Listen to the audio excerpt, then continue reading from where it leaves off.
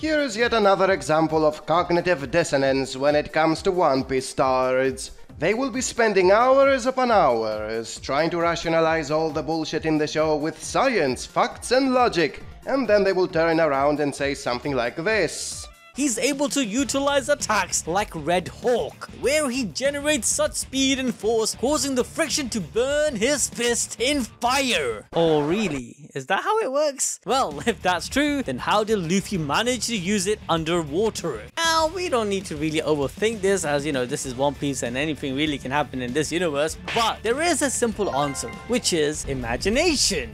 yes, as crazy as it sounds, Luffy thought that such an attack like that was possible, and thanks to his belief, the effects of this power becomes reality. What the shit is the point in trying to reason everything that happens and constantly bringing up instances such as this panel we see here is how Gear 5 was foreshadowed since chapter 1, or how this panel we see Oda letting us know what would happen 25 years later, when everything comes down to the power of imagination. If you can imagine something and it happens, it doesn't need foreshadowing, it doesn't need build up, it doesn't need scientific explanations or evidence that prove its existence. It just happens instantly whenever you feel like it, without any preparation or explanation. Every One Piece star knows that and openly admits it. Yet they don't settle for this answer and spend an unhealthy amount of time in trying to find some panel that somehow rationalizes all the bullshit that keeps happening because of imagination.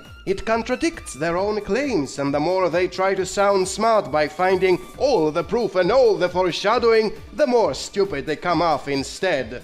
And when you point out the obvious stupidity so they will stop doing it, they just reply with something dumb like, You weren't paying attention, no days ago, he foreshadowed everything since chapter 1. And that's why I proved with scientific evidence that was foreshadowed ever since the very first theory video about One Piece was out, that if you are trying to excuse everything that happens in One Piece, you are without a doubt freaking stupid.